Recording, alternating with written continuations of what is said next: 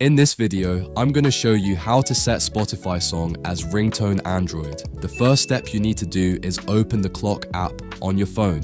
Once you're inside the clock app, go to the alarm section. Now, select any of the alarms you already have. If you don't have one, you can create a new alarm by tapping the plus icon. Next, tap on alarm sound to change the ringtone for your alarm.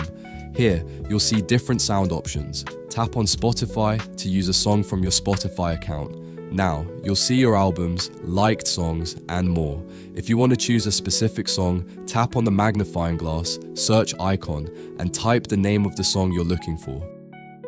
Once you find the song, tap on it, and it will be automatically selected as your alarm sound. Finally, go back to the alarm sound settings, and you'll see the song you selected is now set as your alarm ringtone. With all that being said, if you find this tutorial helpful, don't forget to like and subscribe, and I'll see you in the next one.